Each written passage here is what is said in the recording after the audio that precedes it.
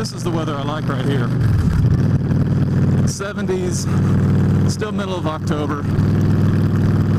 But man, it feels good today. Had to get the jackpot out. Been riding the cross country for a few days now. Needed to switch it up a little bit.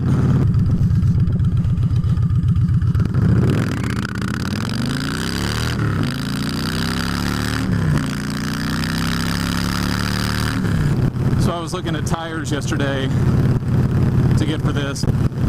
Just a couple videos on new tires and, and see what people thought of them. I saw one video, I, I can't even remember who made it, but um, they were talking about some myths with new tires and, and how companies put grease on them to make them look better or to, to condition the rubber coming from the factory and First off, that's not true. No manufacturer is going to grease down their tires before they sell them to you, especially for a motorcycle.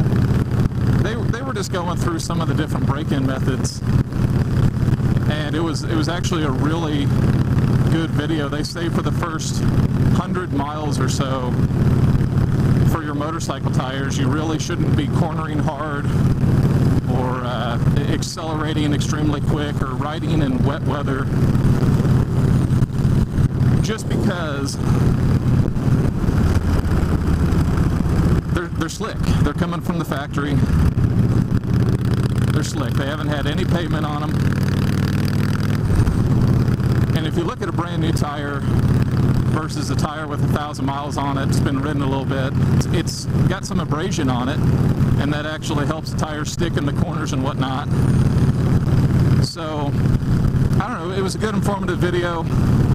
Uh, they they were kind of debunking some uh, some ways to actually break in your tires that people have tried. One of them was taking sandpaper on an orbital sander and sanding your entire tire with a sander.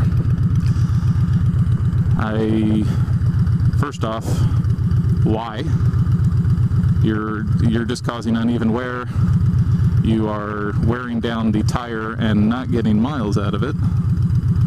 So that came, seems kind of uh, silly in the first place. But uh, second off, why would you not want to go out and ride and put those miles on it to get that wear on the tire instead of going at it with a sander? Makes absolutely no sense whatsoever to me, but I don't know. And, and they said it wasn't helpful. It, it doesn't abrade.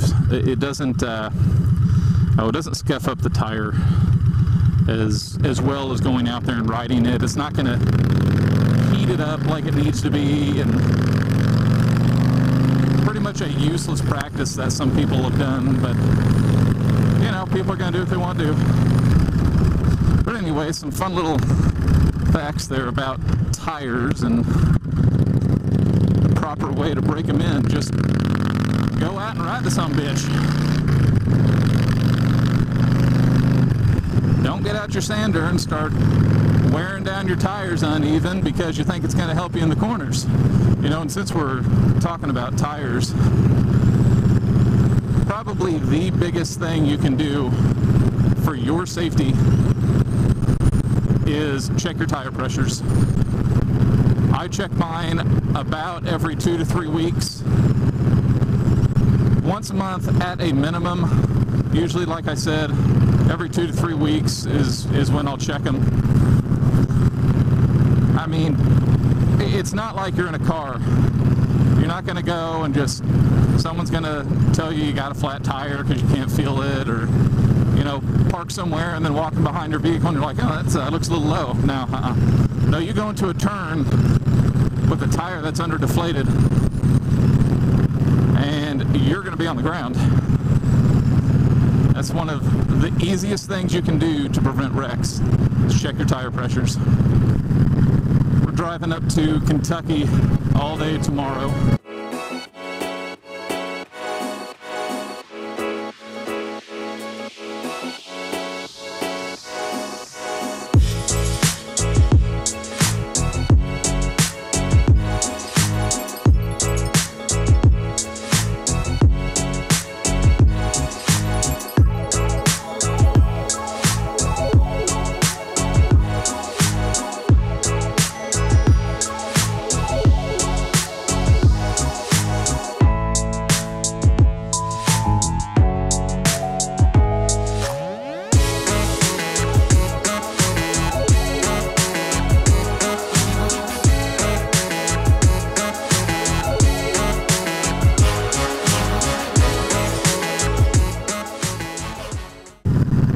Kentucky is like riding heaven.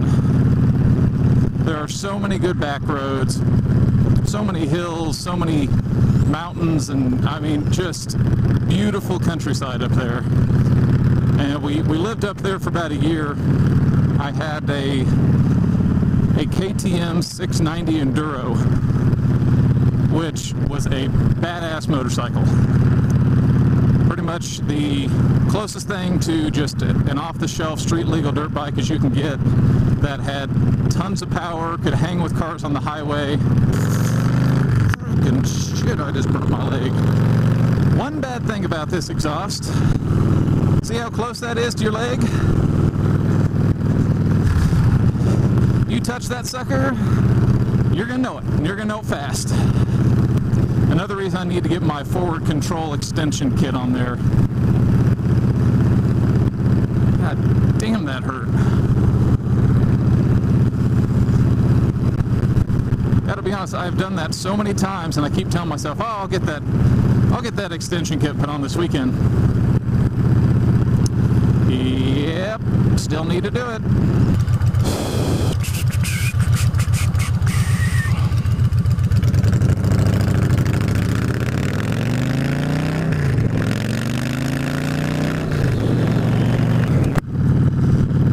Guys enjoyed today's vlog.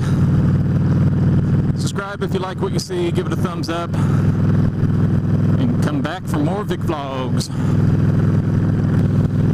Vic vlog, Vic vlog, come back for more Vic vlogs.